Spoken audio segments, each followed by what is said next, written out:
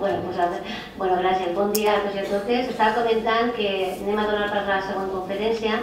Eh, Carmen és una persona que ha sigut eh, triada, buscada pel grup d'escola de, infantil perquè coneix els seus llibres i el seu treball i en, i en este context d'aquestes jornades sobre el tema de la comunitat i la família, és a dir, pensaven que eren essencials. Estem encantadíssimes d'haver-la trobat i haver-la portat. Bueno, pues explique quién es Carmen, un poco de Carmen. Carmen Tío de Paul es psicóloga especializada en educación infantil en el ámbito de la escuela y de la familia. Després d'uns anys d'exercici de mestra d'educació infantil i de professora d'institut de batxillerat, es dedica a l'assessorament de centres docents d'educació infantil i primària públics i privats i a la formació permanent de mestres. Al mateix temps, intensifica la seva dedicació a l'orientació familiar i a la formació d'assessorament de pares i mares individualment i en grup, ha estat professora de postgrau d'Educació Infantil a la Universitat de Barcelona, conferenciant dels jornals d'educació infantil, ajuntaments, associació de pares i mares, associació de psicològics professionals de psicologia i pedagogia, centres cívics i socials. Col·labora amb l'Institut de Ciències de l'Educació de la Universitat de Barcelona i Autònoma de Barcelona. Imparteix cursos i dirigeix seminaris i grups de treball dins de l'àmbit de la formació permanent del professorat. Ha impulsat la creació i coordinat durant 10 anys el grup de formadors de formadors de l'etapa de 0 a 3 de l'ICI de, la, de la Universitat de Barcelona. Actualment continua formant part d'aquest eh, equip d'educació infantil de l'ICI de la Universitat de Barcelona. Eh, confundador i assessor del programa FEA, Família Escola Acció Compartida, del SEC durant 10 anys. Supervisora d'equips professionals dedicats a la família i a les i a les famílies i ha sigut autora de nombrosos llibres, un dels últims llibres és M'agrada la família que m'ha tocat, educarà els fills en positiu, de l'editorial Homo 2013 i diferents, ha publicat diferents articles, etc etc. Actualment, parcialment jubilada, continua fent activitats de formació orientades principalment a l'acompanyament de grups d'aprenentatge compartit de pares i mares i de l'assessorament familiar. Molt bé, gràcies. Gràcies dir-vos que em fa molta il·lusió estar aquí perquè fa uns anys eh, vaig estar a València, a Elx, i vaig conèixer tota una colla d'educadores eh, que estaven apassionades per la seva feina i eh, qui van passar uns dies de, de treball molt interessants. I em va quedar un bon record, la veritat. I quan em van trucar des d'aquí, no m'hi vaig pensar ni cinc minuts, vaig dir, va, vinc. Eh, L'altre dia estava parlant amb una nena que té 7 anys i entre altres coses em va dir la família és fantàstica, diu la pots fer grossa i no passa res. Jo potser és de les, de les definicions de família més maques que he sentit. Uh, què, pa, què vol dir aquesta criatura? Vol dir que la, en la família hi ha una seguretat efectiva. Uh, important i eh, podem dir que la família és el primer espai, no l'únic, evidentment, però és el primer espai on les criatures comencen els seus primers passos en, en el procés de socialització i és on troben eh, per què és tan idoni eh, el, la família des del punt de vista del, del creixement i la formació i, i educació de les criatures? Perquè en, en ell troben eh, un suport efectiu, el suport efectiu necessari que necessita tota persona per tenir ganes de viure, d'experimentar i d'aprendre. Jo diria que aquesta idea, mica en mica, va quallant en la societat, com a mínim teòricament. A la pràctica ja veurem eh, com funciona la cosa, però eh, jo crec que en aquest aspecte hi ha un avenç en reconèixer que la família és important, molt important, i que si la família eh, trontolla eh, pot trontollar tota la societat, en definitiva. No? Hi ha una altra idea que també penso que està quallant ja, i és que eh, hi ha una presa de consciència generalitzada que els primers anys de vida són importants. Són importants no només des del punt de vista de la salut present i futura, sinó que també són importants des del punt de vista del desenvolupament i l'aprenentatge. Eh, el que passa és que eh, jo diria que aquesta és una idea bastant generalitzada, però encara no hi veiem la traducció. Eh, és important la formació de les criatures, molt, però de quina manera, com i amb què. què han d'aprendre, com han d'aprendre, eh, ho han d'aprendre tot alhora. Eh, fa uns anys va sortir una enquesta, no massa anys, d'un treball que estaven fent, no sé si era la Universitat Autònoma de Barcelona o la Universitat de Barcelona, sobre eh, la drogadicció infantil i juvenil i van fer una enquesta eh, on es preguntaven mm, coses en general, no només respecte a la drogadicció. I hi havia una pregunta que a mi se'm va quedar gravada, que preguntava si estaven, eh, si els pares, si cada un dels que contestava l'enquesta, eh, creien que estaven educant bé els seus fills. El resultat és esgarrifador, eh? Més del 80% deien que no això és una tragèdia. Eh? Vull dir que més del 80% de pares entestats era una, era, una, era una mostra bastant significativa, vull dir que no, no era una mostra restringida, sinó significativa de la població en general, que més del 80% diguin que no eh, eduquen bé els seus fills, bueno, és indicatiu de l'autoestima com a pare i com a mare que tenim que té aquesta societat en què vivim. Un dia eh, estava escoltant una entrevista que li feien a l'Uri i que li preguntaven com és que en aquesta societat que, de, de la informació i que tothom està molt més informat que, que abans, els pares estan més informats, tothom està més informat, mm, els pares eh, tinc, estiguin tan dubtosos i no sàpiguen per on tirar. Eh, i ell eh, va contestar així d'entrada, diu, és que avui dia ho tenen difícil. Diu, per exemple, una de les primeres coses eh, que ha de fer una parella quan vol tenir un fill és pactar què farà cadascú. Eh, qui, qui portarà els nens a l'escola, qui eh, s'encarregarà del metge, qui s'encarregarà de l'alimentació, no? s'han de pactar coses eh, conseqüència d'un canvi de rols que s'està realitzant en aquests moments, en ja, ja fa uns quants anys. No? Abans els rols estaven molt definits, totalment definits jo diria. No? El pare l'autoritat, la mare la manutenció física i psíquica, diríem. No? Eh, les criatures petites eren de les mares eh? i els pares poca cosa hi, hi havien de fer. O sigui, les feines, diríem, les feines o les dedicacions estaven absolutament clares. En aquests moments trontollen. Tots sabem que davant de canvis eh, cal un procés d'adaptació. Jo penso que l'hem iniciat. Que ja fa temps que l'hem iniciat, però costa. A veure, i una de les coses que, que ens sembla important, i per això hi hem dedicat bastantes hores i reunions amb, mestres, educadors i pares, és intentar analitzar eh, eh, quins canvis s'estan produint a la nostra societat que repercuteixen extraordinàriament en el fet educatiu. Jo he fet un recull, no exhaustiu, però que pot ser interessant perquè eh, en el moment en què ens, ens, ens eh, proposem eh, intervenir activament pel canvi, per l'adaptació de les persones, pares, mestres i tota mena de, de, de serveis o de persones que estan en serveis dedicats a la petita infància, eh, eh, que, que mm, acollint aquestes noves necessitats, aquests nous eh, eh, aquesta necessitat de, de modificar maneres de fer eh, objectius educatius eh, tinguem en compte doncs, per on hem de donar més eh, apoy no? I, i, i retornar la confiança en els pares en les seves capacitats de, de, de fer de pares.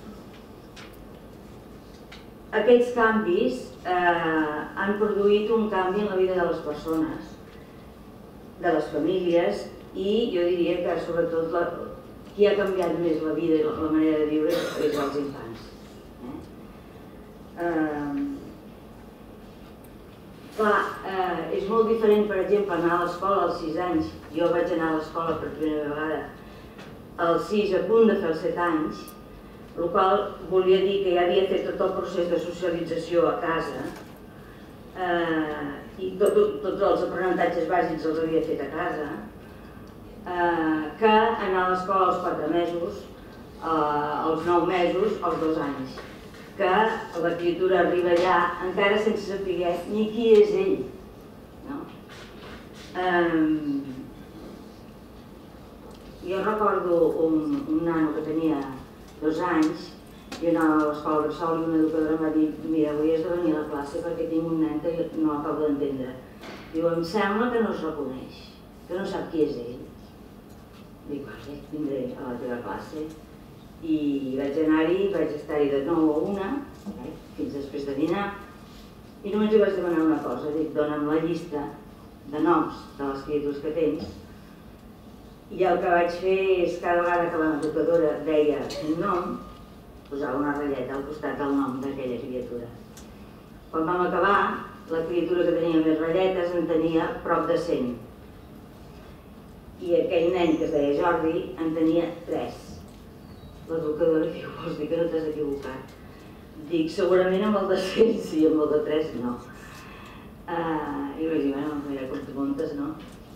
I va ser, bueno, era una educadora fantàstica, a la setmana següent, quan hi vaig tornar, em vaig trobar que a la classe hi havia el nom de Jordi, Jordi, Jordi, Jordi, i això, diu, sí, m'he posat, com que no em sortia espontàniament, diu, m'he posat el nom en els llocs on jo sé que vaig i vingués a Cuento o no, eh, deia Jordi, bueno, doncs aquella títol en una setmana eh, va començar a existir. Per què? Perquè l'educadora, dient el seu nom, el feia present no només amb ella mateixa, sinó el feia present a la classe. Era un nano que a la classe no existia. Per com mm, a casa, eren, a casa seva, ell era el mitjà de tres. No vam parlar amb la família perquè no, no, no ens va donar temps, diríem, no? Vull dir, la cosa es va resoldre eh, eh, en una setmana en aquell, en en aquell moment, perquè l'educadora era boníssima. De fet, ella em va, em va comentar, dius que hi havia, que quan faig el repàs de, del dia, a vegades no sé si ha vingut aquesta criatura. I era una criatura, però tots sabem, en un grup hi ha persones que, ens, que d'entrada ens atrauen, hi ha persones que d'entrada no ens atrauen gens, i hi ha a tots aquells que tenen risc de passar absolutament desapercebuts, eh? els grisos hi ha criatures que tenen la sort que no són grisos per tothom, però hi ha criatures que sí que són grises per tothom. Podria ser el cas d'aquella criatura. Eh, en tot cas, quina sort d'haver trobat una educadora que va detectar eh, doncs que la criatura necessitava reconeixement. Clar, això, eh, quan les criatures surten de casa i van a llocs més amplis, amb més gent, si no estem molt en compte, eh, en lloc de ser un favor el fet d'anar a l'escola, que és evident un dels millors serveis que s'ha inventat la humanitat per, per, per acompanyar el creixement de les criatures eh, quan els pares no, no, no poden, Mm, m'he perdut. Bueno, no sé què anava a dir. Vaig fent associacions i, i, i salto.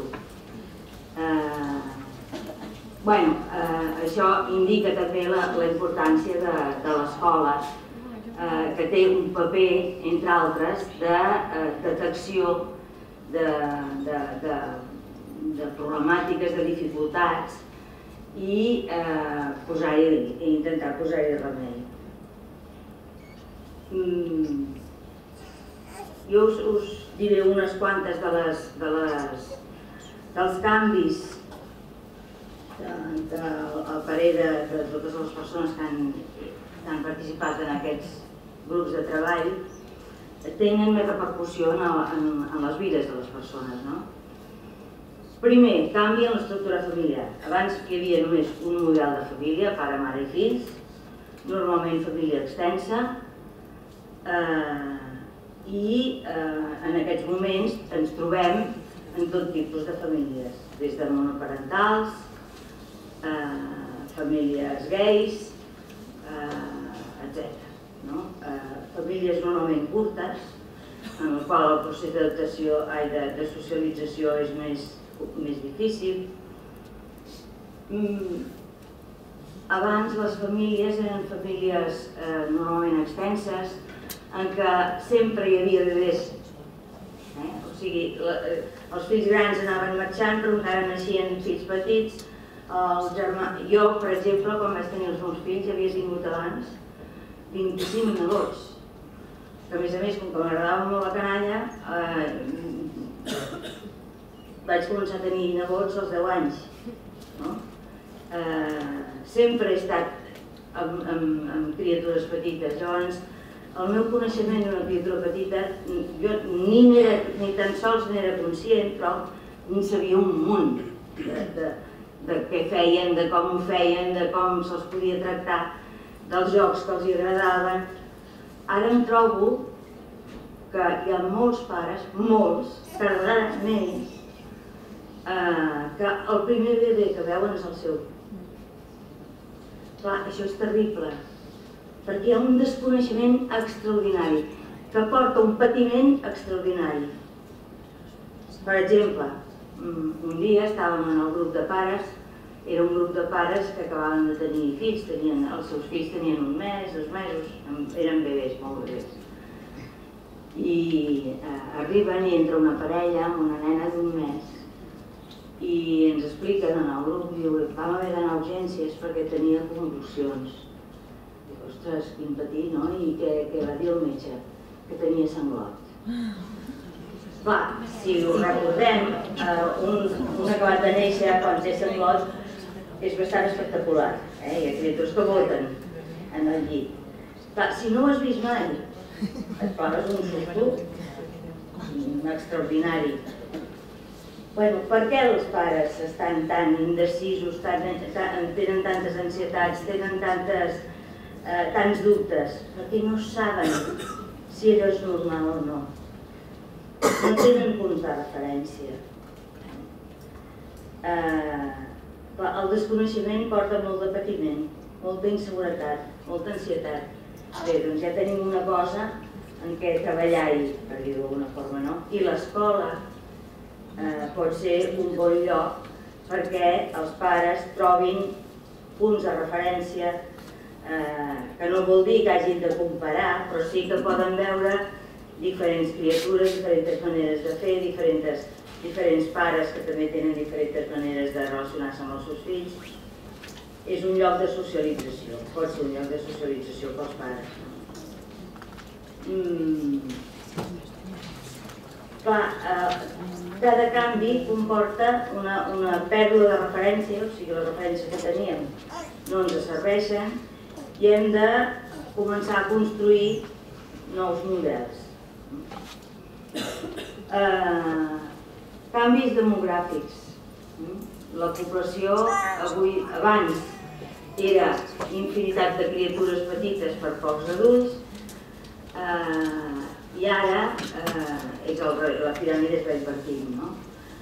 Eh, a més a més d'anar-se invertint, Bueno, això què comporta? Que moltes vegades grups d'amics, abans, eh, eh, una de les converses més exteses era parlar dels fills, perquè tothom en tenia. Ara hi ha molts grups en què uns tenen fills, els altres no en tenen, amb la qual com que els que no en tenen és un tema que no els interessa i que el troben avorrit de parlar de si ja és hora de canviar bloquers o no, o de, de, de, del control d'esfínteres, això no els interessa, francament. Aleshores, què passa? Que no se'n parla. Llavors, es crea una, un aïllament i una solitud extraordinària. Eh, no, no, no tenen amb qui compartir una cosa que és la més, segurament la més important eh, que està vivint en aquell moment, no? que és la, la criança i l'acompanyament dels seus fills.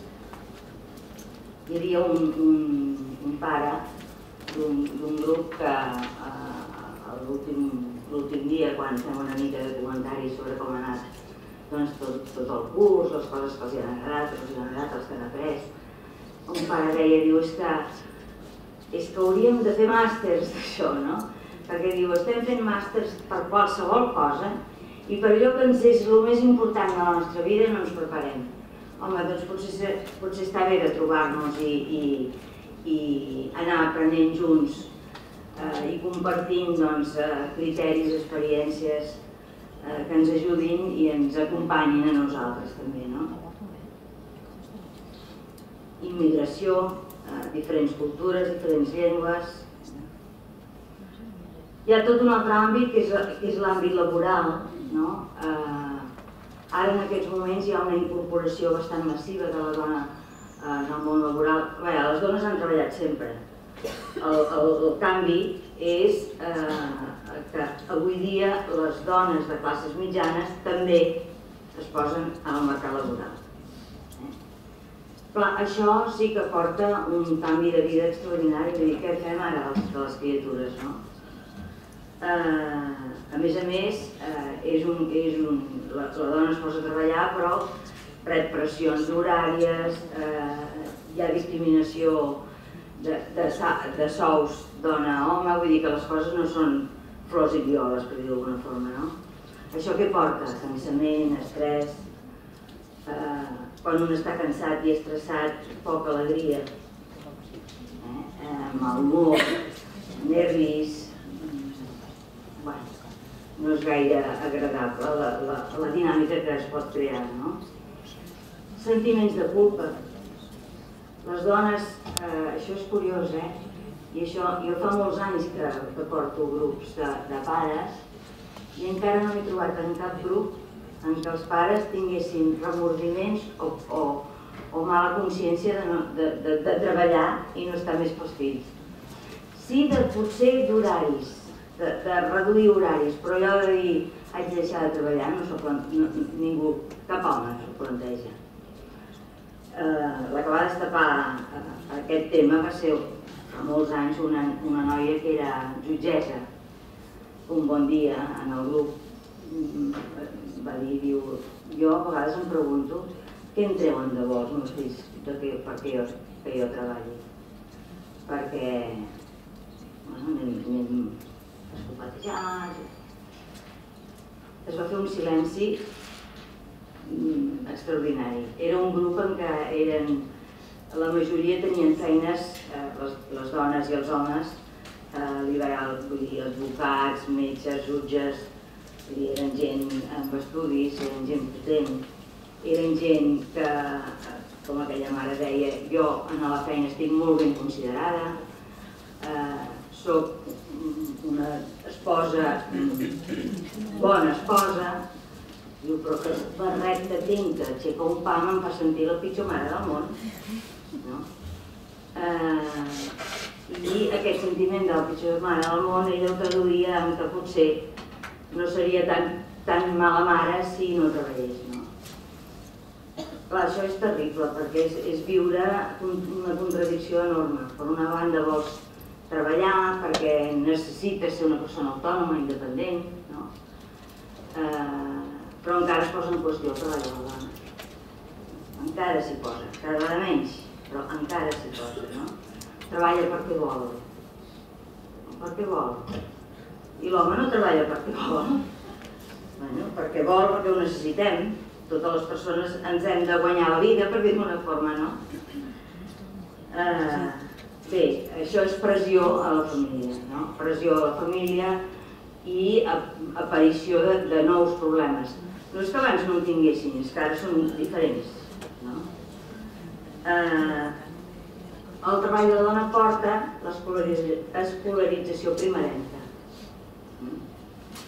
Ara hi ha criatures que comencen l'escola als 4 mesos potser no hi ha més remei, però tampoc és extraordinari això, diríem, no? Vull dir que no estaria de més doncs que, que hi haguessin més eh, temps de, de, de, de, de vacances, no de vacances, no, de, de dedicació, de poder deixar de treballar per poder dedicar-te a les criatures. De fet, hi ha països en què, en què els permisos per maternitat són durant un any, durant... Jo recordo, un, em sembla que era a, a Noruega, que el primer ministre va agafar sis mesos de baixa per paternitat.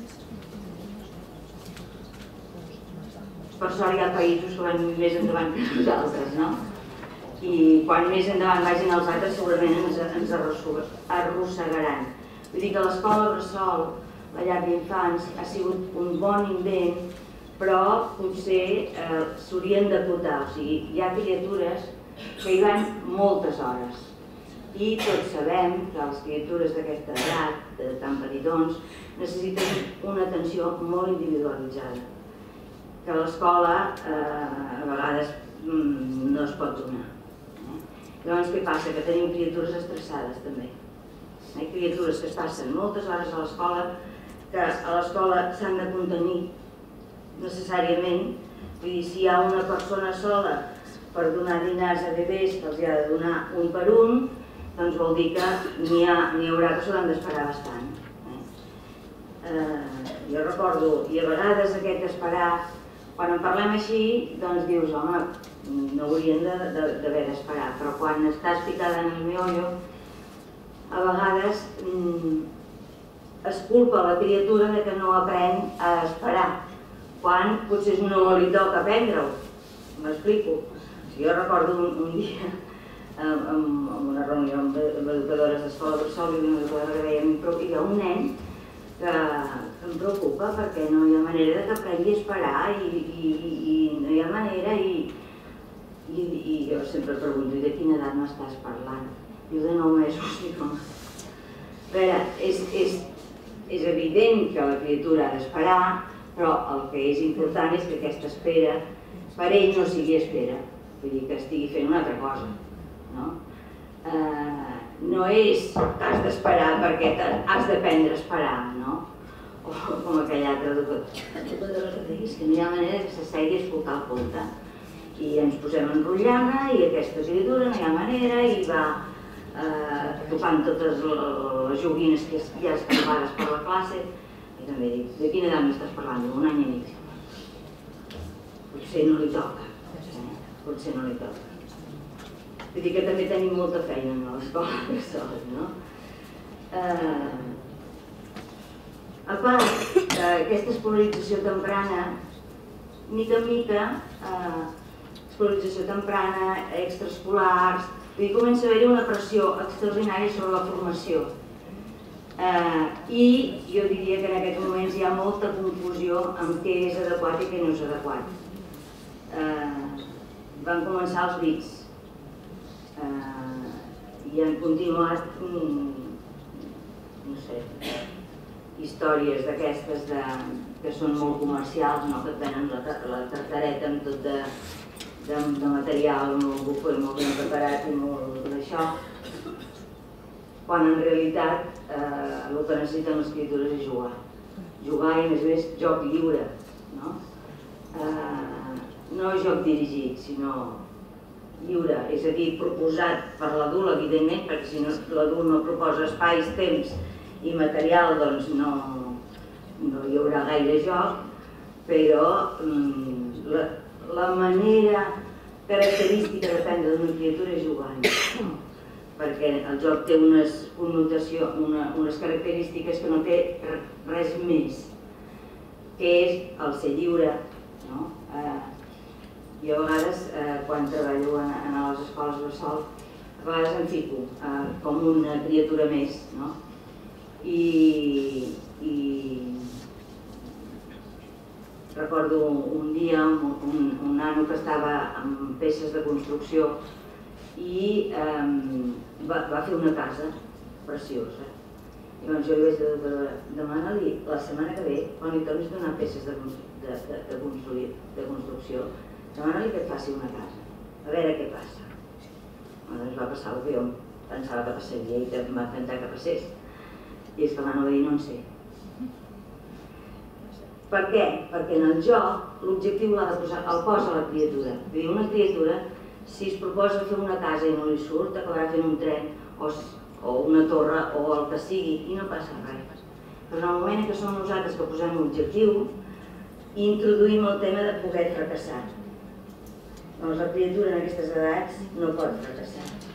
ho viu molt malament, perquè per, per el seu, per, perquè no, no pot entendre que eh, allò és, és mm, temporal, vull dir que hi ha aprenentatge, l'escriptura no entén de processos, eh? i l'escriptura es pensa que si no sap fer una cosa no la sabrà fer mai, això és tràgic. Per això la criatura té tan poca tolerància eh, al, al fracàs, a l'error, no? perquè no entén, fet, un, un una, criatura, després de sortir de, de, del cine, bueno, els van fer una pel·lícula, una, una, tenia 5 anys, em va comentar, diu, que raro, diu, quan, quan fem una cosa i no ens surt, ens, ens pensem que mai ens sortirà, i després ho fem. I ell mateix, les criatures barrinen, eh? reflexionen i diuen coses que, que, que, bueno, que, et, fan, et fan entendre, no? et fan entendre eh, i t'ajuden a, a tenir empatia. Eh? Tant que parlem de l'empatia, doncs a vegades són les criatures les que ens van mm, ajudant a entendre per què es comporten de la manera que es comporten eh, Aleshores, hi ha molta pressió sobre, els, sobre les criatures. Tothom diu, que una criatura petita és una esponja, és el moment, és el moment. Però clar, és el moment de l'anglès, del violí, del... i de jugar quan és el moment. De jugar quan és el moment. És evident que la criatura, eh, quan més petita és, més fàcil li és aprendre però això no vol dir que tingui temps per aprendre-ho tot. Eh? I a vegades s'ha de prioritzar. I prioritzar en funció de què? En funció del que li és més important i més funcional en aquell moment. Què és més important per una criatura de 3 anys? Dir good morning o saber anar al vàter suez? Què li dona més satisfacció? Què el fa sentir més segur d'ell mateix? Bueno, doncs això. Doncs és això. No és incompatible, no. Però si anem posant coses, què passa? Que al final nosaltres, els adults, acabem valorant més aquestes, aquests aprenentatges que els altres. Recordo en un, en un grup que hi havia, eh, tenien nanos de, de més grandets, de 6, 7, 8 anys, una mare ens, ens va confessar. Dius, jo li dono menjar al meu fill de 9 anys li dono menjar, perquè així té més temps per fer els deures. Bueno, això és pervertir, pervertir-ho tot. O sigui, l'important són els deures, l'important és, és tenir bones notes eh, o aprendre molt, però com a persona humana eh, aprèn. I a més a més hi ha una altra cosa, i és que eh, exercint l'autonomia i vestint-se sol, menjant sol, etc., va adquirint no només eh, autonomia, confiança en ell mateix, autoestima, sinó que a més a més va aprenent tot allò que ha d'aprendre. Una criatura quan es vesteix eh, aprèn a ordenar, a seqüenciar. Eh? Eh, moltes, quan, moltes vegades podem veure si ens entretenim a mirar eh, com una criatura es, es calça i, i hi ha un moment en què tant li és començar per la sabata com pel mitjó no? i a vegades es troben que s'han posat la sabata i es van a posar el mitjó i no poden, no? Eh, bé, llavors es van trobant aquestes dificultats en la pràctica i van aprenent que hi ha coses que van primer, que hi ha coses que van després. Un dia estàvem en una classe amb nens de 3 anys i mm, vam decidir eh, de, de, de fer l'esmorzar amb, amb tots els exius, d'alguna forma perquè sortien tard. Eh? Era una escola que estava oberta de 8 a 2. Eh? Llavors les dues marxaven ja. Llavors s'havia de fer un esmorzar completet a mig matí. Llavors, com que s'havia de fer un bon esmorzar, doncs vam decidir de per a taula. No? Posar-hi tovalles, plats, gots, etc. Eh, va ser mm, divertit. Eh, una de les primeres vegades, o sigui, cada dia hi havia un, dos encarregats per, per, per parar a la taula.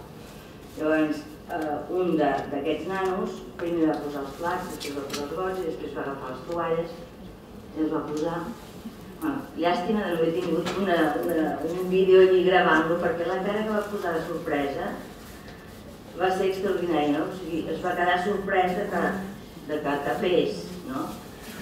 I el que és evident és que al costat no, és que primero, primero va les tovalles, no? I ja està. Vull dir, que això també l'aprenentatge en grup. Eh? Vull dir, no cal que sempre sigui l'adult el que digui, sinó que els altres també ajuden, no?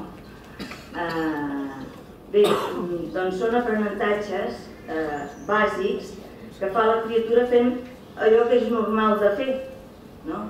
que és menjar, dormir, rentar-se, eh, vestir-se i jugar. Mm.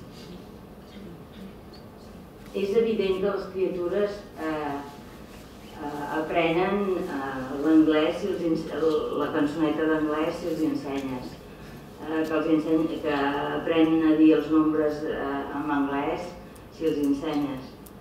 Però el que també us puc dir és que hi ha un estudi molt interessant del, crec que és de la, de la Universitat Autònoma en què eh, van intentar averiguar si aquestes eh, aprenentatges esporàdics que es fan a les escoles a l'hora d'anglès, per les criatures des de 0 anys o el que sigui, si això eh, comportava una millora en l'aprenentatge de l'anglès als 13 anys, per exemple. Eh? O sigui, comparada amb 13 anys. Res, cap diferència, doncs no hi gastem temps. No hi gastem temps. No? Una altra cosa és la immersió. Eh? Si, si portes una criatura en una escola anglesa que fa immersió en anglès, això sí. Però això d'una extraescolar d'anglès, doncs no val pena. No val pena més val que juguin. D'allò que aprenen jugant sí que els hi és interessant. No? Uh, pressió als pares. Eh? Pressió als pares no potser a, a 0,3 però sí molt aviat. A 3, 6 ja hi ha molta pressió, que si deures, que si... Hi havia una, una nena un dia li vaig preguntar què feien a l'escola i què feien a casa, diu, a l'escola fem pastissos i a casa som els i restes. Són genials, eh? la veritat és que són genials. Amb una frase t'explica el merder que tenim tots plegats, no? Vull dir, a veure, qui fa de mestre, qui fa de pare, vull dir, quina és la responsabilitat de cadascú, Home, jo penso que és important que els pares es dediquin a ajudar les criatures amb tot allò que fa referència a casa, no? Vull dir que és, estan allà. I a l'escola, tot allò que fa referència a l'escola, els deures són de l'escola.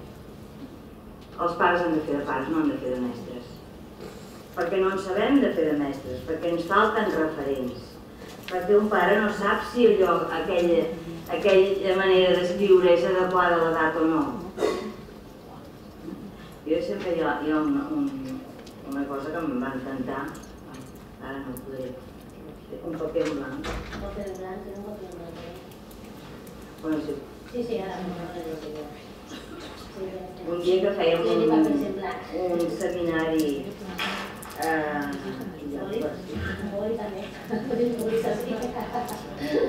Sort que esteu ben... Sí, sí, sí. Doncs eh, vam, vam fer un curs sobre aprenentatge de la llengua escrita. Eh, una gent que, que defensa que l'aprenentatge sigui com el parlat, eh, que l'escriptura comença a parlar, nosaltres el, els diem les coses ben dites, no els hi fem repetir, però sí que anem dient les coses ben dites i mica en mica l'escriptura va dient bé. Eh, doncs un, una, una de les experiències que ens van explicar, diu eh, una mestra, de 3 anys era, una mestra que va explicar un conte en què sortia un, un cocodril i quan va acabar el conte, en lloc de dir-los dibuixeu, que és el que se sol fer, els va dir, a veure si escriviu cocodril. No? I eh, bueno, va haver-hi de tot, va haver-hi criatures eh, que, que van fer Eh? O sigui, les coses així separades, gargots però separats. I una va fer així.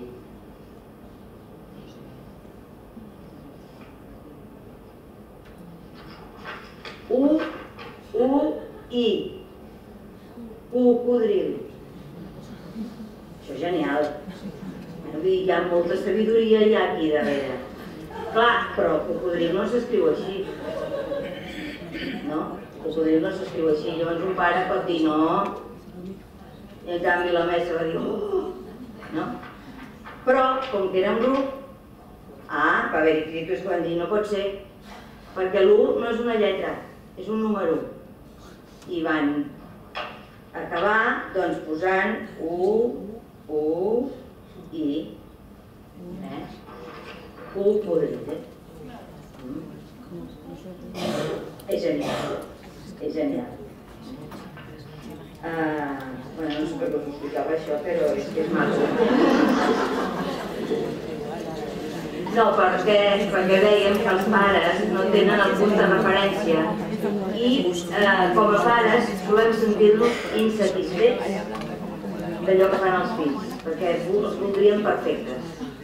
I aleshores es creen mal rotllos. Eh? Vull dir, eh, més val que cadascú faci el que li toca i eh, no, no ens traspassem els uns als altres responsabilitat. O sigui, jo penso que eh, els pares sovint passen responsabilitats a l'escola, per exemple, a l'escola ja, ja li ensenyaran a menjar, a casa no cal, perquè és, ah, li costa molt els espinacs, o la verdura, no? però a l'escola li fan menjar.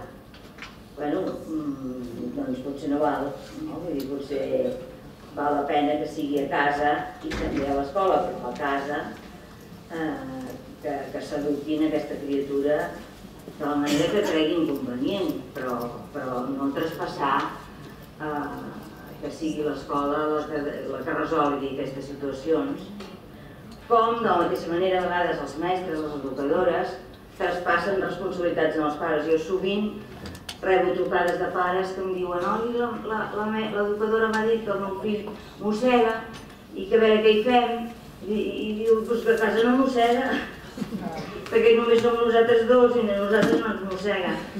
Doncs a veure si mossega l'escola ho hem de l'escola. Sobretot els dos anyets.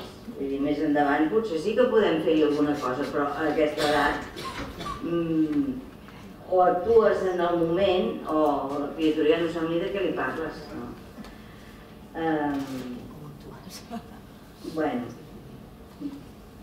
l'escolarització primerenca, les activitats extraescolars, també hi ha hagut una perversió. Van començar, mira, van començar quan jo tenia els fills petits, fa molts anys. Uh, I com van començar? Doncs els pares ens, ens van començar a reunir per dir, a veure, jo treballo fins a les 5, no arribo a l'hora, què us sembla si entre uns quants doncs busquem alguna persona que pugui acompanyar-los en el joc, no? I, I això és una cosa, i l'altra és que en aquests moments sembla que si no portes les criatures extraescolars no et preocupis prou de la seva formació. Però això no va. I què ens trobem? Que les criatures eh, tenen tot el dia coses eh, a fer. I ens trobem amb criatures que tenen una, una veritable ansietat quan no tenen res a fer. Programat. Eh? I ara què fem? I ara què fem? I ara què fem? No els donem oportunitat a que prenguin a gestionar-se el seu temps lliure, eh? a que tinguin temps fins i tot d'avorrir-se. No els deixem avorrir, no ho suportem, els grans. Eh? I en canvi, mm, a vegades l'avorriment porta grans entreteniments, perquè la persona s'espavila i es busca la manera de passar-s'ho bé. I segurament aquesta manera de passar-s'ho bé és l'adequada per la seva... Jo, que m'he passat moltes hores observant amb criatures, he arribat a la conclusió que la criatura, la criatura que se li permet, juga allò que necessita per aprendre. En el seu estadi on està, fa allò que necessita per sortir-se'n i aprendre. Jo recordo un dia que estava eh, en una escola bressol, eh, i era l'hora del pati, i un, un nano que no devia tenir encara dos anys eh, es va passar tota l'estona al pati intentant saltar de dos graons en lloc d'un, o sigui, ell saltava d'un graó. Llavors va començar a saltar d'un graó, després va pujar dos graons, intentava saltar, tornava a baixar el graó, tornava, i així va estar fent amunt i avall, amunt i avall, amunt i avall, fins que al final va aconseguir saltar els dos graons i ho va deixar. Aquí ho va deixar, savi. Avui ja no puc aprendre més, feliç. Eh? Clar, eh, és allò que deia doncs, el lliure, no? Vull dir, mm, si som nosaltres que diem torna i torna i torna, segur que no, segur que no ho fa. Però si realment el deixem jugar allò que ell vol, juga allò que necessita. És que és curiosíssim. Com també quan necessiten treballar tot el tema de l'equilibri, que comencen a donar tombarelles i els gronxadors i tot això, és que ho necessiten. Eh, és fantàstic, realment són molt savis. Uh, què més? Curació primerenca. Bueno, i aquí hi ha una reflexió que, que penso que és important de fer-se i és deixem viure els nens i nenes la seva infància, els permetem ser petits, perquè jo diria que ens trobem en una, en una infància com molt, amb pressions molt diferents. Per una banda són super mimats i consentits i per l'altra super mm, pressionats per segons què. No? I hi, ha, hi ha com una mena d'incongruència eh, amb el que se'ls demana, amb el que se'ls exigeix. Bueno, després hi ha tot l'aspecte aquest de la societat de consum, que fa trontollar eh, valors, no? Eh, jo recordo un dia mirant la tele que va sortir un anunci que em va posar la pell de gallina, era un anunci que deia ho veig, ho vull, ho tinc, us en recordeu? bueno, és que la descripció de la societat de consum, eh? Era, era una entitat de préstec de diners que també... Bueno. Eh, clar, aquesta pressió, eh, hi ha pares que hi cauen, diríem, i els fa una angúnia tremenda que els seus, els seus fills no tinguin de tot com els altres. Eh? O sigui, quan un, un nen diu, és que els altres, ui, els pares ja, ja com flamets, no? És que l'altre ho fa, l'altre ja té el mòbil, l'altre ja... Eh, em sembla que sigui un mal horrorós no tenir tot el que tenen els altres. Eh, això que, que, que porta? Aporta una insatisfacció tremenda, perquè per molt que tinguis, mai ho tens tot. Eh? I si realment poses la teva felicitat en el tenir, de fet, una altra, una altra reflexió que em va arribar d'una criatura, bueno, com la va dir a mi directament, diu, mmm, passa una cosa estranya. diu, hi ha vegades que vols molt, molt, molt, molt una cosa i quan la tens ja t'és igual. Doncs això, això és el que passa. Això és el que passa, no? Eh, clar, en la desorientació sobre els valors també hi ha una desorientació sobre les necessitats de les criatures. I, per exemple, una de les coses que estan patint més les criatures avui és eh, la manca d'autoritat dels pares dels pares i a vegades de, dels educadors. No? Mm, jo crec que s'ha confós l'autoritat amb l'autoritarisme i eh, eh, tenir autoritat es viu malament a vegades. Jo que a vegades faig parelles, eh, sempre hi ha un moment o altre que un dels dos, a vegades el pare, a vegades la mare, que diu a mi em toca ser el dolent de la pel·lícula. Jo pregunto, què vol dir ser el dolent? Vol dir ser l'estricte, el, el més eh, inflexible, diria, el més... Eh, el que té més autoritat, el que posa límits. I això s'està vivint com el dolent de la pel·lícula. Home, doncs això és una perversió. Li hem de retornar, dic no, vull dir, això és el que s'ha de fer. No hi ha cosa, una de les coses pitjors que pot, li pot passar a una criatura és créixer en un ambient sense límits, perquè és la desprotecció total. Perquè aleshores mai sap si el que fa està bé o no. Mai. O sigui, creix a moral. Eh? Sense saber si allò està bé, si allò està malament. I això el posa amb, amb, amb molts riscos de, de no saber per què el renyen. Mm? Per exemple. Jo recordo un dia eh, amb un grup de pares que estaven parlant de, de la importància de l'autonomia, d'ajudar a les criatures a ser cada vegada més autònomes, eh, i, un, i, i un pare diu, ostres, és que, que l'autonomia dels nens és, requereix molta paciència perquè és pesadíssim. S'estan mitja hora posant-se els pantalons i encara quan se'ls han acabat de posar resulta que se'ls han posat del revés. Diu, i a sobre no els hi pots dir res perquè es frustren i llavors ploraria. I, bueno, eh, parem-nos aquí. Eh? Què vol dir que no els podem dir? A veure, aquesta criatura es quedarà a casa, ara? No. Se n'anirà a l'escola? Sí. Allà a l'escola segurament algú li dirà porta els pantalons al revés. Sense cap mala intenció, però és que és així. I el nano, el nano no ho acceptarà perquè el pare li ha dit molt bé,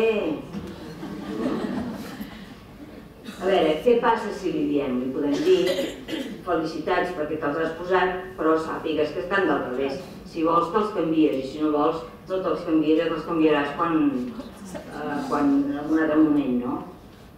Arriba a l'escola aquella criatura i la persona li, pot, li dirà igualment portes els pantalons al revés, el nano dirà sí, el teu pare ja m'ho ha. La sobreprotecció desprotegeix. I això és molt important d'entendre-ho i eh, els límits protegeixen. Els límits que jo els entenc com aquelles cintes de la carretera que t'indiquen el camí, però que pots sortir-ne, però saps que n'has sortit, que hi pots tornar a entrar. Eh? És, eh, no és la privació, sinó l'indicació de cap on has d'anar. No?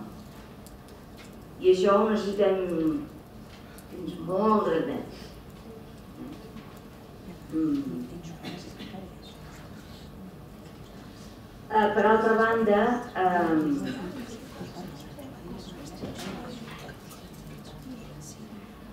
uh, hi ha uh, tot el tema de la, de la, de la societat de la informació. Avui dia tenim informació variopinta sobre qualsevol cosa. Tanta que a vegades eh, no ens dona temps de pair Llavors, la informació no contrastada, a vegades en lloc d'ajudar, perjudica. De fet, ens trobem, mm, no sé si aquí, però suposo que si fa no fa, que hi ha famílies que adopten maneres de fer de criteris educatius absolut, absolutament contraposats. Per exemple, eh, coneixeu l'Estivill, el, com, com diu? El, l'entorn de Niño i totes aquestes històries, o eh, el Carlos González, és el colecho i... No? Doncs eh, hi ha famílies que fan l'estivit per dormir, com a demanda, mal entès des del punt de vista, i una, unes empanades mentals tremendes. Vull dir que també eh, és un altre tema, no? de, de com ajudem eh, a pair i a, i, a, i a tenir criteri propi per decidir què és el que realment eh, val la pena i què és el que no. Mm? Eh, hem d'ajudar a mantenir aquest esprit crític. No? Jo penso que tothom ens aporta coses, ni que sigui perquè ens fa pensar eh, i argumentar el per què no. Per què no hi estic d'acord? Per què penso que això no és adequat? Quan algú m'ho diu, em fa treballar, diríem, no? Per... O sigui, tothom ens aporta coses, tothom, absolutament. Ara hem de saber si les hem de seguir a pies puntilles o, o, o, o crear una certa distància no? per poder sempre actuar eh, amb criteri propi. Eh, de fet, eh, no hauríem d'oblidar mai que informació no equival a l'educació. Eh? La informació és necessària, saber coses és necessari, perquè si no... Però eh, no n'hi ha prou informar. Eh? cal, a més a més d'informar, educar i educar què vol dir reflexionar, analitzar. Això em refereixo a persones grans, no? a pares i... Eh, societat de l'especialització. Cada vegada hi ha més, especialis eh, més especialistes per fer-ho tot. No? Jo a vegades, un, dia amb un grup, mm, en broma, vaig dir és que al final està posant monitors per ensenyar en bicicleta i un pare diu, hi és? En el meu barri, al centre cívic, els dissabtes al matí hi ha monitors que ensenyen en bicicleta. I així queden els pares. Ja no els poden ensenyar a, a, a, a nedar perquè ja van a piscina i ja els ensenyen a fora. Uh, L'anglès també, el, jo què sé, tot, tot es fa fora i s'està instal·lant eh, la creença de que millor l'especialista que jo, pare o mare. Però jo penso que aquí hem de retornar perquè al final els pares no, no, no tenen res a fer amb els seus fills i s'avorreixen. A mi em sap greu quan sento els divendres a la tarda o en vigílies de festes de Nadal, per exemple, de sentir, sentir pares de dir, ostres, ara què farem tu? Tants dies. I els hi ve costa molt. És clar, com que la seva experiència de criatures és només a l'hora que estan tots més cansats, més de mal humor, que és a la nit, que s'han de banyar, que s'han de no sé què, la dutxa, que no els agrada rentar-se les dents i... Hi ha pares que no disfruten mai amb els fills Mira, la setmana passada, just la setmana passada, una parella que tenien un nen de 4 anys, plorant, em van dir és que no hem passat mai una estona feliç amb el nostre fill. Pues allò que se't posa el pell de gallina, no? De bebè ja era un bebè que no somreia gaire. Clar, això, si un bebè somriu poc, ho té, ho té malament. Perquè normalment, quan t'acostes amb un bebè i, i et fa aquell somriure tan preciós, tan càlid, que tens ganes que te'l torni a fer. Llavors t'hi enganxes i vinga i li dius cosetes, i li dius cosetes, i ell, i ell respon i es comença a fer una interacció que es va encadenant. Quan amb un bebè t'hi acostes i, i dius cosetes i no hi ha manera, i creix molt diferent l'un o l'altre. El, nano que respon doncs, eh, bueno, eh, creix amb, confiança amb els altres, eh, amb alegria, se sent acollit i una de les coses que ens fa sentir estimats és percebre que l'altre està ben mi. No? Eh, no és tant perquè et diguin t'estimo, sinó perquè l'altre té ganes realment i, i es nota. Eh? Eh, per això a vegades jo als pares els dic, és que s'ha d'aconseguir trobar un espai on realment ens ho passem bé, perquè si ho fem veure no, no funcionarà. L'hem de trobar aquest espai de, passar-nos-ho bé amb el nostre fill. Eh? Bueno, mmm, em sembla que m'estic allargant molt, eh? Uh, bé, um, bueno, jo volia parlar una mica de, de, de vist això, eh, és important que ens organitzem per fer acompanyament a pares i mestres per poder mm, plantar cara, eh, entomar totes aquestes necessitats i dificultats que tenen avui dia les famílies eh, per ajudar-les a, a recuperar o, o a obtenir aquest sentiment de que jo sóc capaç de fer-ho jo sóc capaç d'educar, me'n puc sortir. I trencar amb aquesta idea col·lectiva que jo diria que, que, que jo amb els grups que fa anys que hi treballo, evidentment, ho hem aconseguit, de eh, treure aquesta, aquesta idea tan pessimista de no podem batallar contra els mitjans d'informació, contra eh, els, els, tot el que ens estan venent a través dels anuncis, eh, de la societat de consum. No és veritat. Sí que podem. Sols no, però amb altres sí. I en qualsevol grup humà segur que trobaràs algú que pensa com tu i que té les mateixes dificultats que tu i està igualment preocupat que tu. Doncs vinga, endavant. Només cal de mirar una mica i el trobarem. I, no sé, per exemple, una de les primeres coses que vam aconseguir de canviar en les escoles era la manera de celebrar els aniversaris que era com una mena de festa de societat. No? S'havia de convidar a tothom, eh, tothom havia de portar regals, bueno, una cosa que era bastant molt protocolària i molt poc eh, de festa meva, o de cadascú, no? Bueno, doncs, moltes escoles han, han, han canviat coses, que ens poden agradar més o menys, però les han canviat. No? i s'han acabat aquest, aquestes eh, convidades als xiquiparcs i, i aquí continua, però bueno, si tu vols ja, ja està bé, però si no vols no ho facis. No? Vull dir, es tracta d'això, vull dir, no, no es tracta de, de, de dir no, no han d'anar al xiquiparc. Escolta, això és cosa de cada pare, de cada mare i de cada família i els seus valors. Nosaltres no ens hem de ficar com a professionals.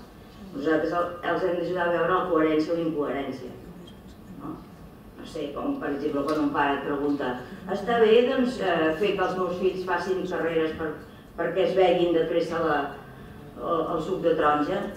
No, doncs depèn del que pretenguis. No? Està bé si tu vols que incentivar les, la, la rivalitat entre ells.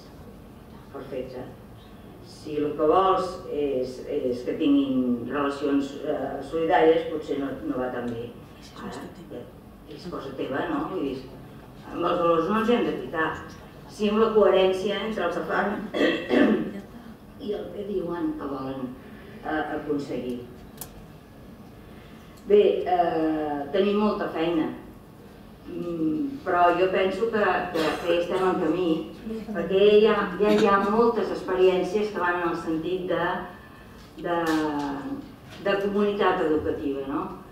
Eh, veiem que a veure, som, som éssers socials i, i necessitem dels altres per aprendre. Doncs això ho, ho sabem ho hem, i ho constatem un dia darrere l'altre nosaltres mateixos, no? Eh, aprenem junts. Bé, doncs organitzem els llocs de, de, on, de trobada, com poden ser les escoles, per exemple, de manera que siguin veritables comunitats educatives que recullin les, les inquietuds eh, les dificultats, els dubtes de, de, de cada estament, que els posin en, en, en conjunt i eh, aprenguem a anar caminant junts, els uns al costat dels altres, no? Mestres, eh, educadores, psicòlegs i tota la resta de, eh, de, de, de serveis. Jo, de fet, allí eh, he, he tingut la sort de, de poder formar part de grups de professionals diferents, assistents socials, llevadores, eh, mig, pediatres, eh, de fer grups de, de, de formació amb tota aquesta mestres, evidentment, i, i psicòlegs, eh, de fer grups de treball per, eh, no sé, per exemple, vam començar eh, eh, discutint sobre la idea de nen que teníem tots plegats. No? Sigui, per anar, per anar unificant criteris de relació. Eh? Perquè, com molt bé deies tu, mm, som tots els que, els que estem educant els criatures, com, com deien els indis allò que diuen eh, per fer una persona cal tota una tribu. No? Eh, és evident que tots els que tenim eh, contacte amb una criatura incidim molt o poc, depenent, eh, però incidim en la seva eh, educació. És com el que dèiem de, dels bebès, no? Vull dir que no és el teu bebè, però, però tu el veus i, i t'hi acostes i és molt diferent dir-li alguna cosa que no dir-li. Estàs contribuint a la seva socialització o no? no? Eh, per últim, eh, salto. Eh, coses que nosaltres hem vist que calia variar eh, respecte a la relació amb les famílies des de les escoles. Perquè eh, quan us explicava era de l'enquesta, de, de, de que el 80, més del 80% de pares van contestar que no educaven bé eh, els seus fills, mm, ens vam plantejar nosaltres hem contribuït a que es formés aquesta idea en la societat? De quina manera podem desfer, si és que hi hem contribuït, o quins aspectes hem de eh, vigilar en les relacions per no fer pares dependents, eh, dependents vol dir insegurs, que no saben què fer, que no poden decidir per ells mateixos, no?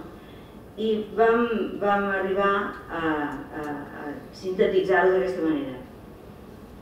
Passar dels consells a l'acompanyament. Sovint els pares ens pregunten, tu què faries? Què faries en aquesta situació? Bueno, podem contestar, jo faria això, o podem contestar, no sé el que faria, però potser valdria la pena doncs, de fer això, això, això, això. No? Eh, quan ens pregunten això està bé, podem contestar el que creiem, o podem contestar el que dèiem d'altra manera, vull dir, depèn del que et proposis. Tu et proposes això, tu et proposes allò, doncs eh, això és coherent, això no, eh, no és coherent. D'això en dèiem de la recepta a la reflexió compartida. Les receptes no van bé, els consells tampoc, perquè sovint el consell el, el, el donem a partir del que nosaltres faríem en aquella situació, però resulta que aquella mare o aquell pare no, no és nosaltres i que la situació, jo m'imagino una situació però potser és una altra. No? Eh, per tant, eh, és molt més interessant d'aportar reflexions que no aportar receptes, en definitiva. No? passar de, de petització a impulsar l'autonomia dels pares. Sovint els, les, a les escoles han agafat les regnes de les decisions. Aquest nen ja ha de menjar triturat o ja ha de menjar trossets. Aquest nen ja li toca el control d'espínters. Aquest nen, bueno, mm, al tanto, perquè estem usurpant responsabilitats dels pares. Si nosaltres veiem que els pares no saben, eh, aportem-los i per que, que, en què ens fixem nosaltres per dir aquest nano ja està preparat? Doncs i traspassem els en els pares perquè ells puguin avaluar si aquest nano està preparat o no. Que això també ens, ens demana més feina per nosaltres, no? perquè ja no ens hem de basar en la intuïció, sinó que hem de definir aquells aspectes de la conducta de la criatura que ens diuen si està madur o no està madur intel·lectualment, si està madur o no està madur eh, emocionalment, etc. No? Eh, de la culpabilització a l'empatia. A vegades els jutgem i els culpem els pares, no? És que per culpa teva o ells mateixos. És que això és per culpa meva, no? No parlem de culpes, potser de causes, però culpa no. Perquè la culpa treu forces. O sigui, quan, un se sent culpable, entra en la depressió quan un se sent causant es pot entrar a dir, veure, no? eh, canviem les coses. I dèiem que eh, hi ha actituds i elements que favoreixen la relació, establir una relació professional però amical i propera, horitzontal i no jeràrquica, o sigui, ells en saben més de pares, nosaltres en sabem més de, de mestres o de psicòlegs, però cadascú té el seu valor i la seva aportació eh, en, en el tema que es tracti. No? Eh, informar més que no alliçonar, eh? és els pares, el que dèiem abans, vull dir, avui dia tenen molt desconeixement de moltes coses. Eh, L'altre dia, una altra pregunta que, que surt a vegades, quan caminen els nens als sis mesos, em va dir un pare, diu, va, imagina't tu, arriba el seu fill als sis mesos i encara no camina i no gairebé ni s'asseu.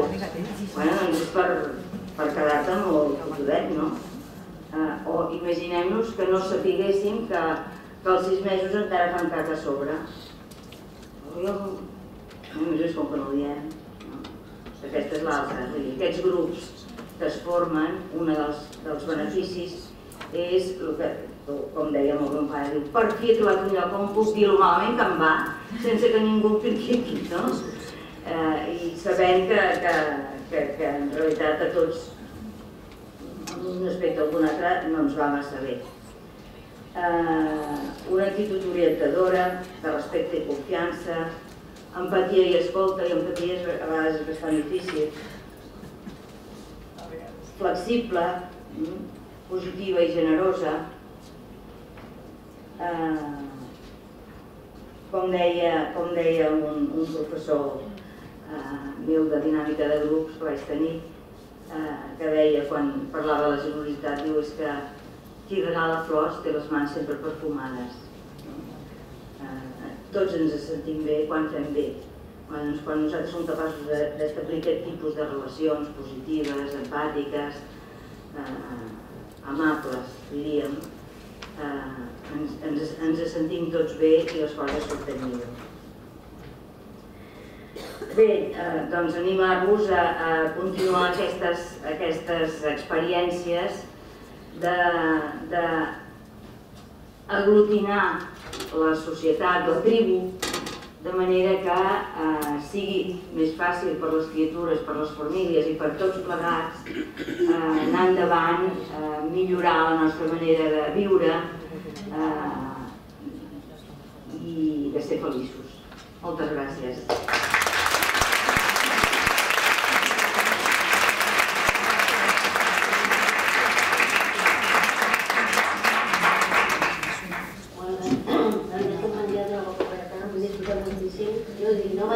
absolutament res perquè toque i, i, i, i quan acabi. Pues, crec que són les 11 i mitja, no? Sí. És l'hora de, de la pausa? Eh? Encara no, veritat? Vale, ens han pujat sense vol i sense revoltes. Sí, penso de parlar una mica entre tots. Eh? No, no, no, sí, això no era per, organitzar, molt, molt bé, perfecte. Bueno, pues, eh, comenceu a, a preguntar lo que Era, era per organitzar una miqueta perquè l'Ajuntament ens ha posat després en la pausa un cafenet que hi va ahir fora eh, pues, per fer un cafenet i tot això. Bueno, si encara estem alguns entrarrats de centrar-me per preguntar lo que perquè jo que ens ha, ha descrit una realitat totalment en la que vivim en les escoles infantils i ens ha portat una realitat també, com vosaltres. Aprofiteu que ara hi som, eh? Que després no hi serem. Digues.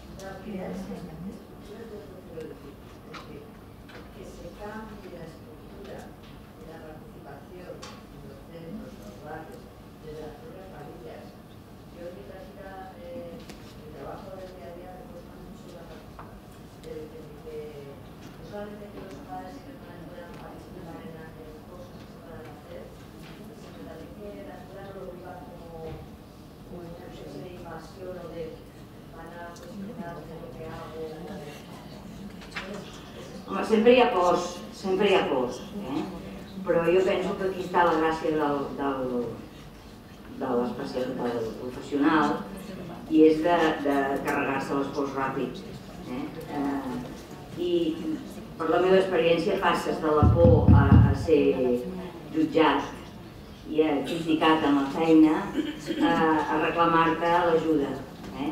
I jo, jo molt aviat em vaig trobar que de, de, de de gent que no tenia ganes de que anés a la seva classe i per tant no hi anava, jo sempre demanava permís, a gent que deia, ostres, a la meva classe encara no has vingut, eh? I jo també et necessito. Uh, depèn del retorn que fas, d'allò que fas, no? Sí, jo sempre deia que necessito... Jo mai he sigut una persona de despatx. Mm, m'avorreix el despatx, però no amb les persones. I aleshores mm, sempre he demanat estar dins les classes. Va haver-hi tota una època que em vaig dedicar molt també a anar a colònies amb els mestres i de, de fer-me de l'equip, encara que no estigués tota la setmana a l'equip, vull dir, eh, normalment els, els professionals, els psicòlegs així, no, no anem a una escola, anem a vàries. Mm, i, i és difícil d'integrar-te en l'equip quan vas a vàries, però sí, però es pot, d'alguna manera, si l'actitud és d'integració en l'equip. Uh, jo, jo veig que uh, les, les concepcions canvien quan la gent en surt millorada d'aquella situació. Quan, quan, per exemple, les trobades en grup, uh, amb pares, al principi eren pocs, però després, quan, quan els pares que venen surten més tranquils, més alegres, més contents, eh, sapiguem més el que poden fer i el que no poden fer, ells mateixos es converteixen en els propagandistes del canvi. De vinga, va, fem... Això, això requereix anys, eh? També cal dir. I també requereix que n'anem aprenent els professionals, perquè la nostra formació tampoc és d'aquest per aquesta mena. Jo dic, jo, jo m'he dedicat a fer psicologia de la normalitat, Mm, o sigui, perquè la vida, de la vida, no? Eh, moltes vegades atribuïm als fills o als pares els problemes i resulta que no és ni els fills ni els pares, sinó que són les relacions que s'han establert en aquelles circumstàncies concretes d'aquella família. I en aquella família els mateixos pares diuen que jo tinc tres fills i només n'hi ha un que no, que no funcioni. Bueno, és que les relacions amb aquest no van bé. No és que tu siguis un mal pare ni que aquesta criatura sigui una mala criatura i que tingui... No? I quan veus que el, el 90 i pico per cent de temes, de, de dificultats i de problemes que, que, que veiem a l'escola es poden resoldre amb una bona orientació, amb canvis, eh, amb millores en la relació, eh, mica en mica és, és una, una concepció que va entrant i jo fa més de 20 anys que, que faig treball intensiu. Treball en pares l'he fet sempre, perquè a la que poses un peu a l'escola ja veus la necessitat de, de trobar-te amb els pares, que t'expliquin com s'ho fan ells amb aquella criatura, no com que jo els expliqui com ho faig, sinó, escolta, ajuda'm a ser millor mestre. Jo no, no? Vull dir, eh, necessito més elements. Eh, des de, des de, des d'aviat t'adones d'això, no? de que necessites parlar amb els pares, estar, estar amb ells. No sé què anava a dir, de, de, que fa més de 20 anys que ja no em recordo què anava a dir. Però bueno, eh, el, el, la manera aquesta de, de treballar en, en la normalitat va quallant eh, a mesura que et trobes amb famílies que milloren per exemple, us de, ella us deia el títol d'aquest últim llibre que he escrit que es diu M'agrada la família que m'ha tocat. Això és la frase d'una criatura. No, no, no me l'he inventat jo, aquesta frase tan genial. És eh, resultat d'un treball endegat en un grup de pares que un dels pares va dir jo és que estic avorrit de la vida que porto, no m'agrada gens, estic de mal humor eh, a casa només hi ha crits, insults i baralles i no puc més. I voldria que, que m'ajudéssiu a canviar les coses perquè no pot ser. Bueno, a tots van dir, ens hi apuntem, perquè uns amb més eh, extensió que altres, doncs s'ho passaven malament. No? Eh, doncs vam estar eh, reflexionant sobre possibles canvis en la dinàmica. Des de que ens llevàvem que si música, que si no música, que si li preguntem a cada fill com vols eh, despertar-te, et vols despertar tu sol o el despertador o que jo et despert, en fi. Eh, aportar eh, acudits, eh, coses per poder parlar eh, a, a l'hora de dinar i a l'hora de sopar amb totes les criatures, etc. No? Mm. al cap d'un mes d'haver endegat canvis, un pare arriba en el grup radiant i diu, sabeu què em va dir l'altre dia el meu fill? M'agrada la família que va tocar. Bien, no? Ja són fans els petits d'aquests canvis, no? I, I la veritat és que és, és, és mm, maco viure-ho, no? I ho veus, doncs en el moment en què els, els pares que venen allà eh, venen allà perquè els agrada venir, no per obligació de, de que han de ser millors pares, sinó perquè els agrada venir perquè troben recursos, companyia, empatia, estimació, valoració i surten amb, eh, reforçats per fer canvis a casa, eh, la cosa comença a funcionar a la mar de bé. A la primera escola que vaig anar, fa més de 20 anys i vaig fer en aquella escola va ser curiós com va començar la història dels grups. Vaig anar-hi a fer una xerrada. I quan es va acabar la xerrada, em venen dos parelles i em diuen no n'hem tingut prou. I clar, dic què vol dir? Diu que volem, volem reflexionar més i bueno, llavors va, els vaig dir, bueno, podeu fer un grup i buscar una persona que, una persona que entengui més o menys, doncs que diu, volem a tu, dic, vale feu el grup, i així va començar la història. Fem fem un grup, i ara resulta que són 40.000 grups, no? Eh, perquè s'ho diuen els uns als altres. O sigui, aqu aquella escola era una escola bressol, llavors eh, els nanos es dispersen no? quan eh, van a P3, molts dels pares volen continuar fent grups, fan grups en les seves escoles i així s'ha anat extenent aquesta manera de treballar. un poco referente a lo que estás comentando, que, que se... Con tu experiencia, ¿qué, se puede, qué, qué, consejos das para motivar a los padres? Porque yo me encuentro que en la, en, en la escuela en que yo trabajo, cuando quiero hacer la, la escuela de padres, yo ya no sé qué hacer para que, para que se apunten. Entonces los veo muy desmotivados. Y luego también quería que si mm, consideras que es mejor hacer grupos, por ejemplo, de 0 a 3 años, de 3 a 6, o se puede funcionar una escuela de padres eh, como primera infancia, pues desde el nacimiento, son, son los mismos consejos o las mismas directrices en eh, una primera infancia o edad escolar. A veure, jo diria que Gràcies. Eh? de 0 a 3 eh, separats, perquè hi ha temes molt específics com el xumet, el canvi de ai, el, el control d'esfínters, el menjar, el dormir... El dormir encara és una cosa més universal, però eh, eh, hi ha temes que si no tens el bebè en aquell moment no t'hi sents gens implicat, llavors no, no, no és atractiu, diríem, no? No és pràctic. Sí. sí, per la resta, eh, jo normalment faig grups de 0 a 3 separats, a més a més perquè també estan separats, Eh? Les escoles de 0 a 3 estan de 0 a 3. Eh, I després eh, infantil, de, de, de 3 a, a 7. Sí, a 6 o, o a vegades un, a 7 i a 8. Però, i, i aquests tots, grupets, tots agrupats. I després per motivar jo penso que eh, primer eh, jo vaig eliminar del meu llenguatge escola de pares fora, perquè jo no ensenyo res. Eh? eh? Són trobades de pares. Penso que, que les paraules indiquen coses, no? Sí. Llavors, l'escola de pares, almenys allà a, a Catalunya, tenen una, una, com un significat una mica carrincló.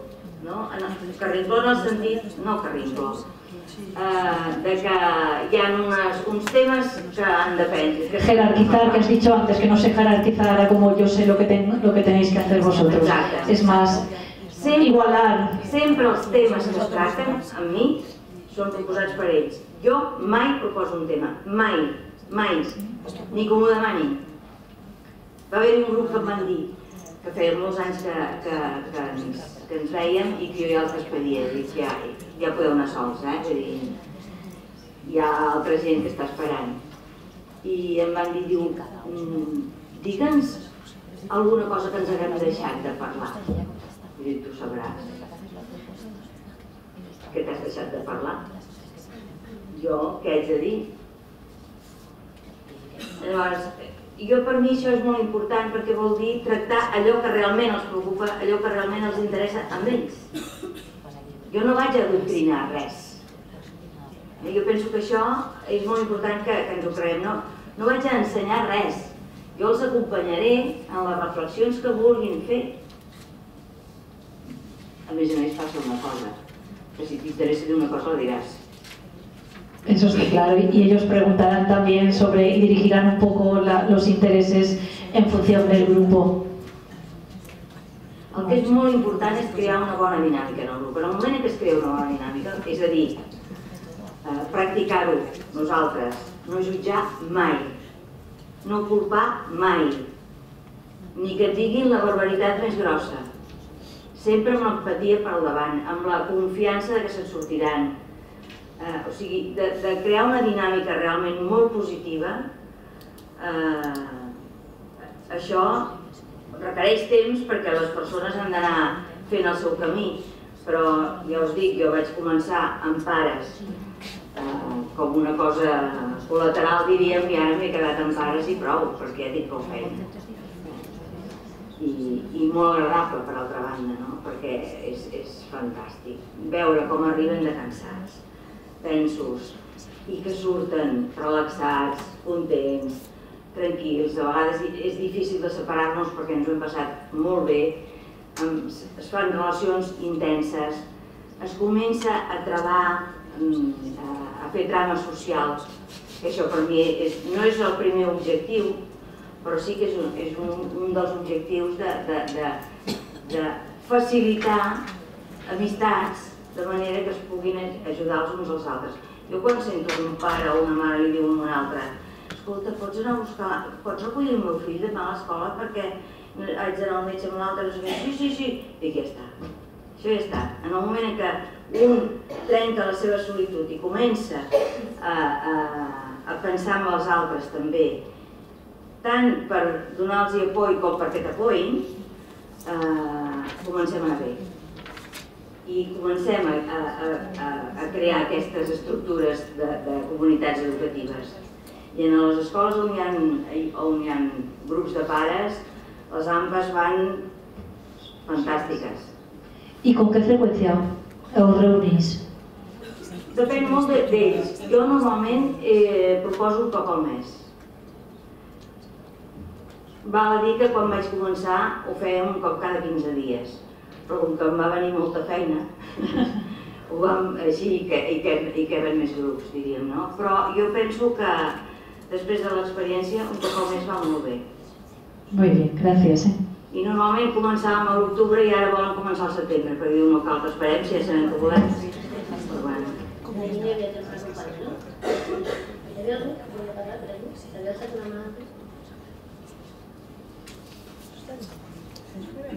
Després hi ha una cosa eh, important també per anar fent, eh, anar fent camí en aquest sentit, i és eh, acceptar gent que vingui a fer l'observació. O sigui, mm, per fer formació de psicòlegs o, o mestres o que sigui que vulguin treballar amb les famílies.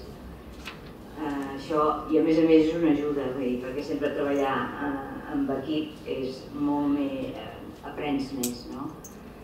I, i per, per mi el fet de poder comentar doncs, el que ha passat en aquesta sessió, perquè passen coses, eh? Passen coses fortes a vegades. Eh, no sé, aquest any, aquest any ha sigut un any especialment mm, potent. Eh, eh, hi ha grups que han començat ara gener amb una primera sessió, imagineu com venen de motivades les, les, les persones, va, va sortir eh, eh, nens abusats, eh, bueno, problemes, problemàtiques molt dures, molt dures. I una altra que no era la primera sessió, sinó que era la tercera ja, eh, que van voler parlar de la sexualitat infantil, infantil dels seus fills, eh? no, no, no de, de, de, dels, sempre parlem dels fills. Um, una, bueno, vam anar a parar els abusos, i una mare diu jo sóc nena abusada. Vull dir que quan es crea aquest ambient tan, tan favorable, eh, bueno, aquella mare va estar tan contenta de poder explicar, tan contenta i tan... Vull dir que, eh, i llavors tenim un altre amb qui poder-ho compartir després, de, dels xocs que ens produïm els uns als altres, no? Vull dir, allí riem, plorem, fem de tot, vull dir, és que és, són grups molt vitals. Clar, no cal que els motivis. O sigui, el que és important és començar amb els primers i, i jo diria que s'ha de mirar que siguin ells que vulguin començar. Eh? Que diguin, per què no fem? No sé com, no sé com, Bé, i t'he explicat com va començar en aquella escola. Es que la dificultad que yo tengo es que cada curso son unos padres distintos, entonces eh, unos años no hay forma y si no hay un mínimo, la escuela no, lo, no, no se empieza. Y cuando empiezan, yo sé que al 99% les encanta, pero, pero por ejemplo este año no ha habido forma de reunir un mínimo y se les ha mandado tres notas. Yo siempre al principio del curso digo que es que no van a aprender de mí, van a aprender de los otros padres y experiencias eh, lo de igual a igual que. Pero sí. Jo hi ha una cosa que, que sí que veig que és molt important i és el professional que acompanya. Perquè hi ha, hi ha escoles que fan escoles de pares o reunions amb pares sense expert, per dir-ho d'alguna forma, no? I els pares se'n cansen. Perquè bueno, una vegada tu has explicat, jo ho faig així i jo ho faig així, si no anem més enllà, no? si no hi ha algú que ens acompanyi a reflexionar, si ho faig així, què passa? Si ho faig així, què passa? Què estàs prioritzant, què no? Vull dir, no? Vull dir, eh, la reflexió no és tan fàcil. No, no, no tothom sap reflexionar. Llavors, a vegades s'ha d'acompanyar aquesta reflexió. I en van aprenent el maco és veure com també aprenen a reflexionar pel seu compte. I de la mateixa manera que les criatures et sorprenen amb les reflexions que fan i quan t'ho expliquen, eh, amb els pares també, ostres, déu nhi eh? Sí. Perquè s'han tret aquesta, aquesta, mm, aquesta etiqueta d'impotència i de no saber. Doncs quan s'hi posen també saben, clar que sí, Bueno, yo quería hacer otra cuestión, eh, bueno, más bien una reflexión eh, respecto a lo que comentabas. Evidentemente, eh, digamos que la educación, la crianza de los hijos y de las hijas está cambiando en función de cambios sociales que hay, unos cambios sociales que realmente cada vez vamos más al individualismo. O sea, parece que estemos en la sociedad global y realmente lo que hacemos es ir un poco a, estar más solos, ¿no? O sea, yo creo que esa, esa reflexión de soledad es, muy importante porque nos sentimos eh, muchas veces solos y un poco la, la clave es ese sentimiento de soledad y esa ausencia, eh, como decíamos, de comunidad educativa, o sea, de sentirte en tribu, sino que te sientes solo y eso evidentemente te hace sentir eh, de alguna manera impotente en, esa crianza porque te hace falta ayuda.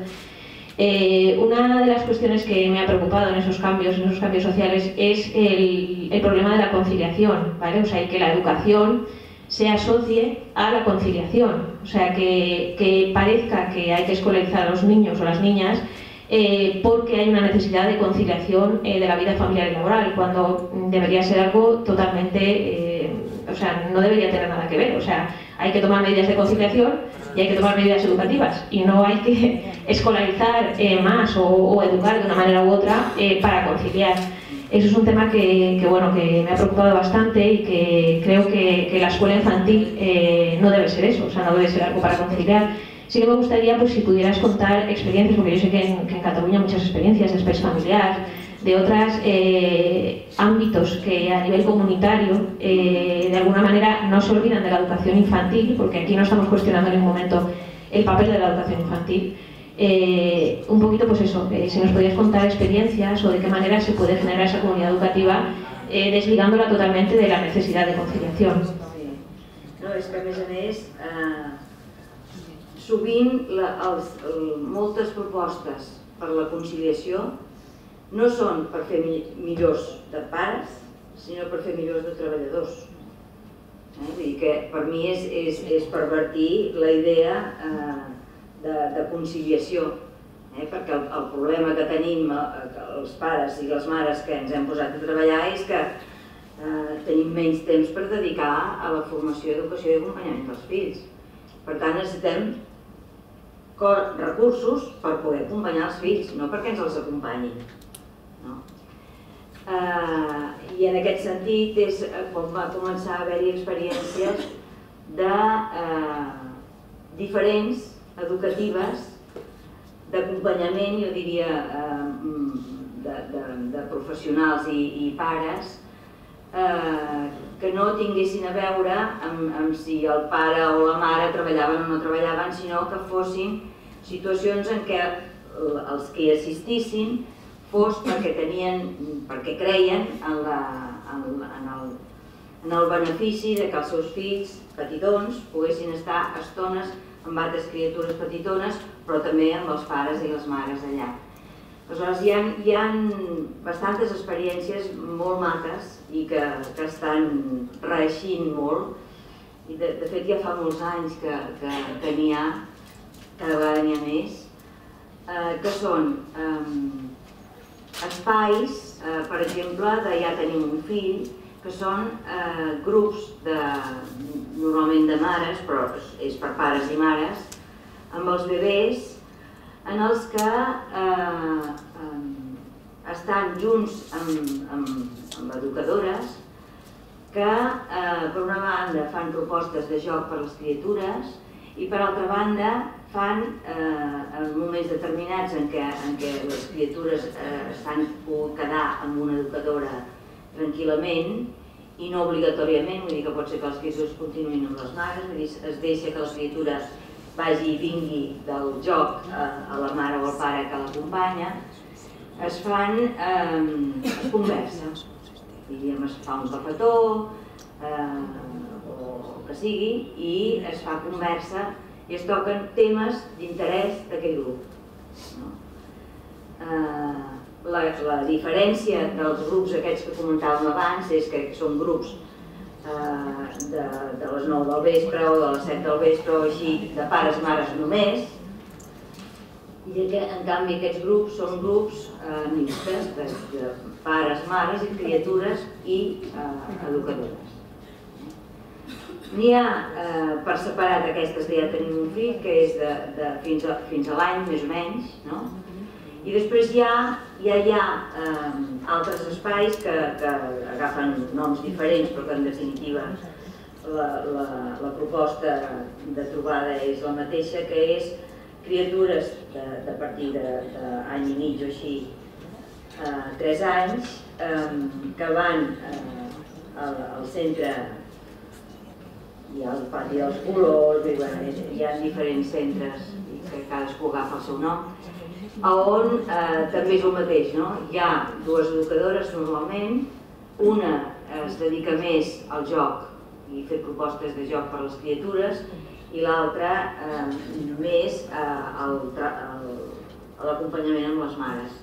Llavors, cada matí també que hi van, i, i aquí sí que són, els ja tenim un fill també, eh, són sessions eh, dos setmanals o, o bastant seguides, eh, de manera que, que es pot fer molta, molta feina, per dir forma, no? i que són moments en què els nanos entre, també comencen a tenir relacions entre ells.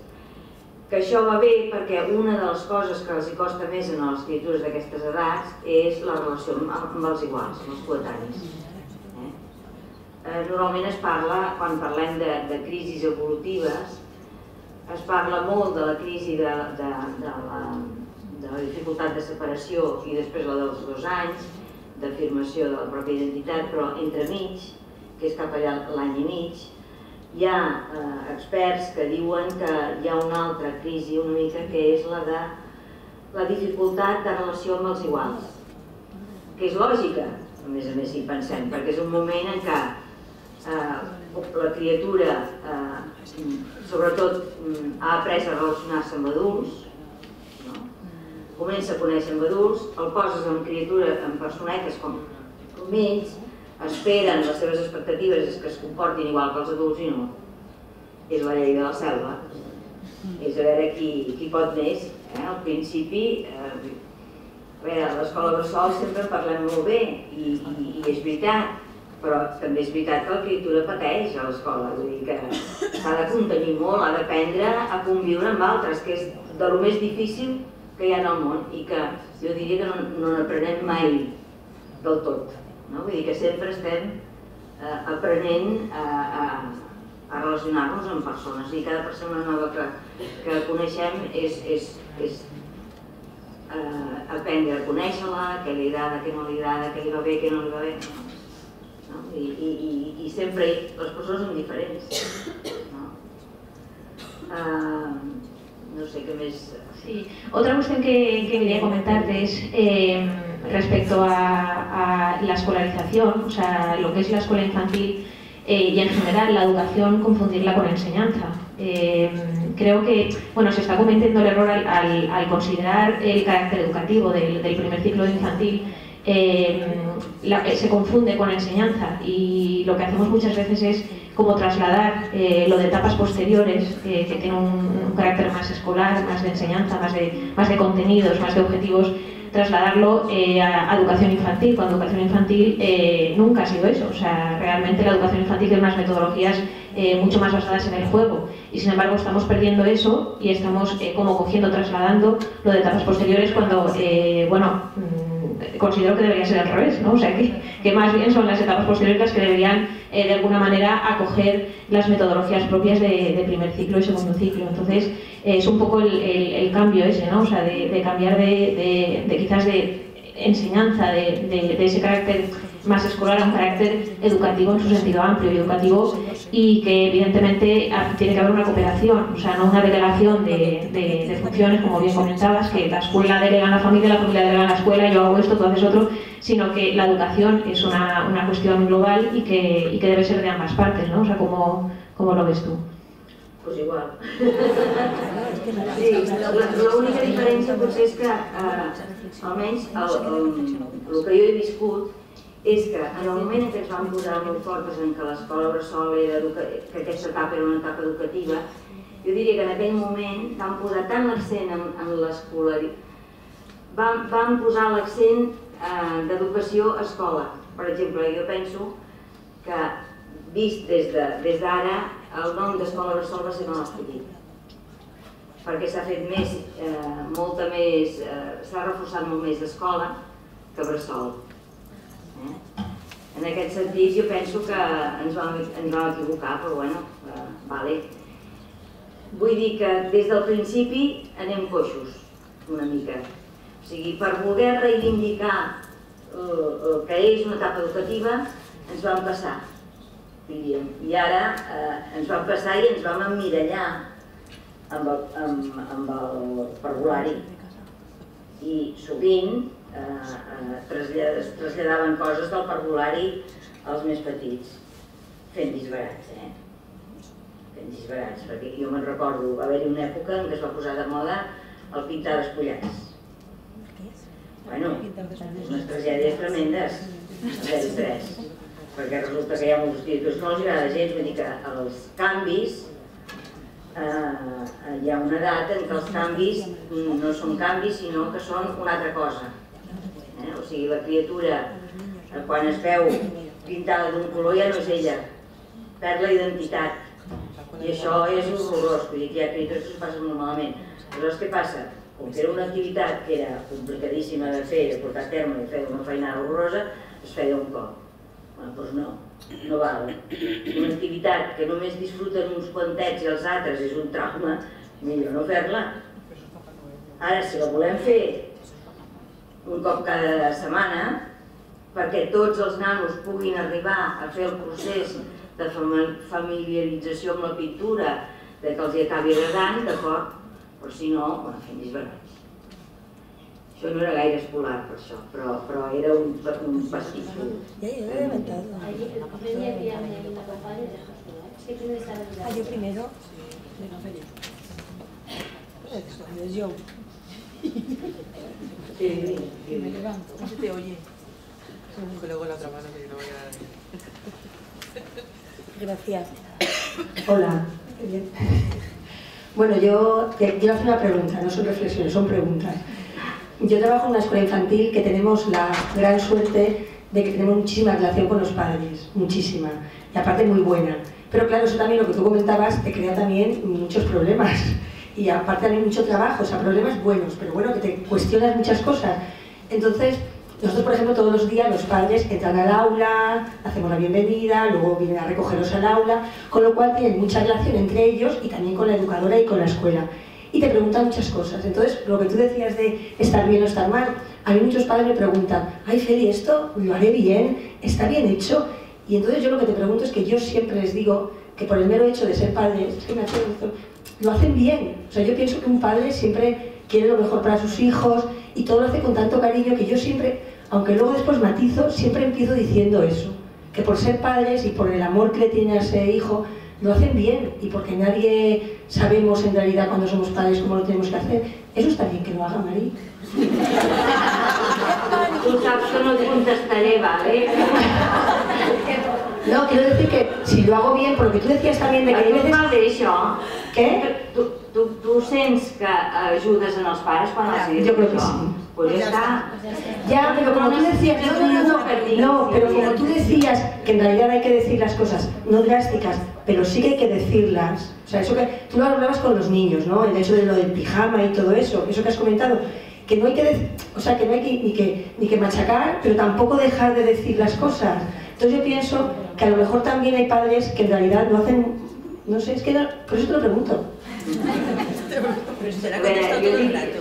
uh, uh, jo penso que quan una persona et pregunta uh, ens hem, hem d'ajudar a veure què és el que vol. És el que us deia abans de, de, de, del suc de taronja d'aquell pare que va preguntar faig bé de fer que els fills entre ells facin carreres per veure qui acaba primer perquè així acaben primer tot? Bueno, doncs depèn. Fas bé si vols una cosa, si vols una altra cosa potser no és el més adequat. O sigui, mm, és el que et dic jo d'aportar elements de reflexió, ajudar-los a veure què és el que volen. O sigui, mm, jo, jo què sé el que vol aquest senyor. Jo el que puc dir és que eh, competir... Ya, pero por ejemplo, yo me refiero a que a lo mejor ese padre, porque te dice, si Feli me ha dicho que está bien, pues está bien. Entonces, claro, tampoco me entiendo. clar, per això vull dir que nosaltres no hem de dir si està bé o malament, clar. són ells que han de decidir.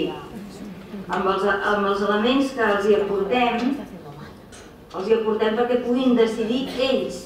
O sigui, no hem de prendre decisions nosaltres. Un, un dia estàvem en una escola i una educadora diu és que ens ho demanen tot, però estàvem parlant d'això, vull dir, de, de les peticions de, de, és que ens, ho- diu, ens ho demanen tot. Diu l'altre dia una mare des de l'hospital, que acabava de tenir el segon fill, em pregunta si jo què penso, que si és millor que la gran la porti com si no hagués passat res, el porti a l'escola i, i, i ja està, o que quan jo torni a casa eh, amb el bebè, doncs eh, ella també vingui, es quedi a casa durant una setmana. I dic, ui, i què li has dit? Ja no recordo si li va dir que sí o que no. Dic, és que jo, jo què sé? Què sabem nosaltres si és millor o no? Doncs pues depèn, vull dir, cada criatura reacciona diferent, vull dir, potser, ho- potser ho ha de provar. Hi ha coses que s'han de provar. No ho sabem. Entens? Sí, sí, sí. sí. Digues. Es que es la que. No, no, no, no, no, no, no, no, no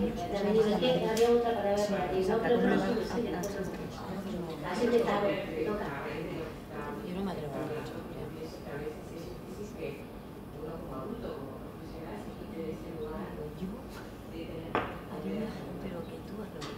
Sí que és difícil, sí, perquè, perquè, té, sí, perquè la gent té expectatives, però com que sabem, com a professionals, el mal que fem i ens n'adonem que estem dependitzant i que moltes vegades la pifiem, perquè és veritat, vull dir, a vegades dius, doncs no és això el que necessitava. No sé, per exemple, eh, una altra educadora com explicava, diu, eh, uns pares que estan eh, neuròtics de que els matins són uns daus i que no hi ha manera i que no sé què. Diu, jo els he dit que això s'arregla llevant-se 10 minuts abans. O no? O no? Eh? En tot cas, si tu creus que el temps és un factor important, digues a vegades, a vegades, amb més temps, eh, les coses van millor. Però no 10 minuts, tu el cas de fer llevar-te 10 minuts abans, no? O sigui, aportar elements que ajudin a reflexionar. És això. El que passa que a vegades ens pregunten coses que no les hem reflexionat. Bueno, però llavors podem dir, espera, que encara no ho he pensat. Clar, és que, eh, a veure, no som impotents, vull dir, nosaltres també anem creixent i aprenent a mesura que ens anem trobant, trobant en les situacions, no? I em diuen, no, és que tu, escolta, jo tinc molts anys d'ofici, això és ofici, vull dir, n'aprens, i el primer dia que algun pare et diu eh, i tu què faries? I que et veus contra els pas a la paret i dius, no, què faria? Això no puc dir, jo què faria? I llavors et ve la idea, no?, de dir, no ho sé el que faria, però el que m'agradaria fer, bueno, doncs això és ofici, no? I, i et, et vas trobant en situacions que et fan, eh, bueno, et, et replantegen coses i, i, i veure les pifiades que has fet i jo penso que, que bé, per mi ha sigut sempre, sempre important en la relació amb els pares i amb els nens, i això em ve de, dels, dels nens, de no dependitzar, o sigui, de no fer-me imprescindible que la gent pensi per ella mateixa, que, que se senti bé amb ella mateixa, que cregui, que vegi que pot decidir coses, sense que ningú li digui molt bé o molt malament. Que els nens també els estem tot el dia dient molt bé o molt malament. No cal. Si ens ho pregunten, vale, ja què diem, però... No? Mm. Hola, buenos días. Me llamo María José, eh, soy psicóloga en escuela infantil Y luego tengo la suerte también de por las, eh, también trabajar en gabinete privado, en el que lo encuentro a los niños ya más mayores. ¿no? Entonces, veo muchas veces, cuando haces las entrevistas iniciales con los padres en el gabinete, los problemas que han habido en la etapa de 0 a 3 años. ¿no? Entonces, tienes ahí un punto bonito de reflexión. Y uno de los ejemplos que yo creo que una de las, grandes dificultades que, estoy encontrando cuando ya son más mayores es que no había una buena comunicación desde el nacimiento, desde cuna, ¿no? desde ese primer contacto de sonrisas incluso y, de, y, de, y del abrazo y de otras muchas cosas que empieza la comunicación desde cuna. Entonces, eh, me hacía mucha gracia incluso en el gabinete eh, una adolescente ya, que los padres decían que creía que la culpa de todo el problema venía por la mala comunicación que había entre ellos. Y ya eh, el punto así de cachondeo es que entre ellos nos dimos cuenta que se comunicaban en casa entre los tres, el padre, la madre y la niña, por WhatsApp. eso es así. Entonces, a mí lo que me cuesta, porque creo que es un punto importante en la escuela de 0 a 3 años, es con los padres explicarles la importancia que tiene a un medio y largo plazo la comunicación. ¿Vale? Porque los padres muchas veces recogen a los niños de la escuela y se los llevan no los recogen y, saborean con ellos qué han hecho ese día y, que, si se lo han pasado bien o no. Entonces, eh, muchas veces las preguntas de los padres es cómo se comunican con un niño que no habla a lo mejor, con un niño de un año, de un año y medio, de dos años. Yo creo, y esa es mi pregunta, que la, la importancia del juego está ahí también. Creo que por medio del juego es una forma muy, muy bonita de comunicarte con los hijos. Pienso. Y, y mi pregunta es cómo hacerles entender, cómo comunicarme yo con los padres muchas veces de la gran importancia que tiene la comunicación en esas etapas, de 0 a 3 años. Pues el padre parece y la madre, que cuando ven que el niño ya habla, a los dos años, dos años y pico, ya les hacen dos preguntas y ya se han comunicado. Lo recogen de la escuela, ¿qué tal te ha ido? ¿Has jugado? ¿Has pintado? ¿Qué has hecho? Ya está. Pero yo creo que hay mucho más en esa comunicación que luego veo que nos transporta muchos problemas más adelante. Entonces, en tu experiencia, ¿cómo has podido transmitir o qué trucos has podido dar a los padres para esa comunicación que para mí, bajo mi punto de vista, es importante desde cuna? A veure, eh, per una banda, explicant anècdotes, exemples, eh? de, de com es comença i com es pot acabar. Però després també eh, penso que és interessant de, de veure què afavoreix la comunicació i què la dificulta. Llavors, en el que l'afavoreix, eh, doncs a l'escoltar, el no fer interrogatoris, eh? vull dir, aquests interrogatoris de què has fet, què has menjat, què és, això és l'examen quotidià que els nanos n'estan fins aquí i que et poden dir quan els preguntes què has menjat, ho tens menjat a la nevera, no? Eh, Fer-los veure que diferent és de dir, bé, si t'interessa el menjar, en lloc de preguntar què has menjat, que en el fons t'importa un rave si menjat arròs o macarrons, sinó eh, t'ha agradat el menjar. És sempre eh, mostrar l'interès per la persona, no pel que ha fet, sinó per com s'ha sentit quan feia el que feia.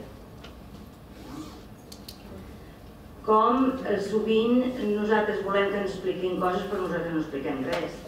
Llavors, no hi ha cosa que, que, que animi més a, a parlar que quan un fa una confidència a l'altre. I a mi em va passar no sé què, i l'altre immediatament, doncs a mi. No? Doncs amb les criatures també funciona això.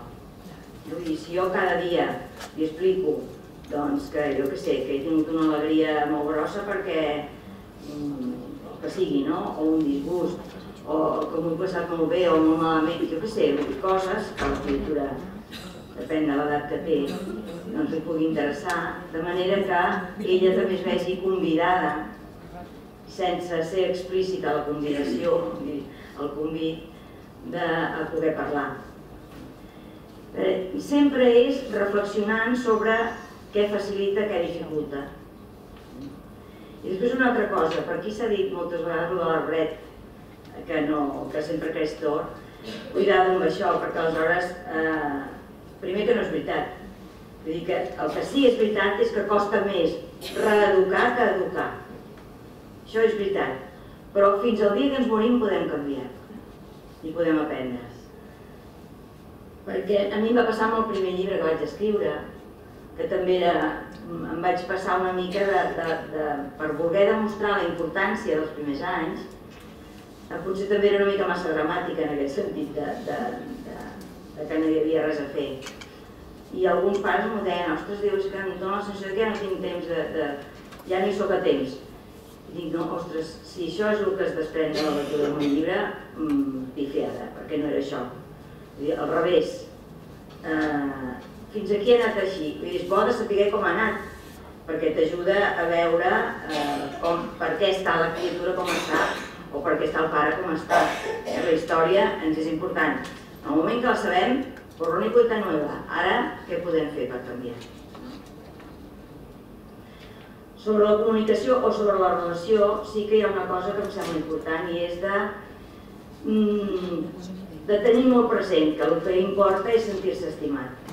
Llavors, que hem d'aprendre a posar límits demostrant l'estimació. Per exemple, jo no sé aquí, però allà és bastant freqüent de sentir, de veure com una mare i una filla o un, o un pare i, i, que es barallen perquè vagi a dormir, per exemple, i al final s'acaba. Doncs m'és igual, però has d'anar a dormir.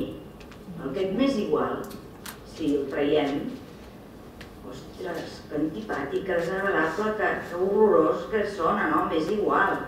Però no podem dir, em sap greu, però hi has d'anar. Continues amb el mateix límit, però li estàs demostrant que t'interessa ella com a persona, que és la veritat, no és mentida, vull dir, la mentida és quan ha dit més igual, mentida podrida, no és veritat que no sigui igual. I m'agradaria molt més doncs, eh, cantant i ballant, no? Anem a dormir, no? Seria fantàstic, però no és així. Eh, el llenguatge és important, com parlem és important perquè transmet sentiments, emocions, fins i tot a vegades els que no volem que transmetis. Aleshores és evident que no puc dir "Mm, em sap greu! No? És impossible dir em sap greu cridant. És tan contradictori que no pots... Doncs, si incorporem aquesta manera de parlar, de, de sempre tenir present la persona, la relació es fa més amable eh, i els conflictes són menors. no, el moment en què la criatura rep estimació i rep la confiança que tens de que té ganes de fer bé les coses, això li dona força per fer bé les coses.